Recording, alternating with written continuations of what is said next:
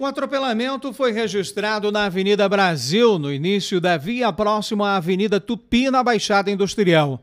Um ônibus do transporte coletivo urbano acabou atropelando a pedestre identificada como Lourdes Kirsten. A senhora atravessava a via na faixa de pedestres quando o coletivo a atingiu. No local, equipes do SAMU e do Corpo de Bombeiros prestaram socorro à vítima, que sofreu ferimentos generalizados sem risco de morte. Ela foi conduzida à UPA pelo Corpo de Bombeiros. Equipes do Depatran e Polícia Militar orientaram o trânsito que ficou confuso no local por causa do acidente.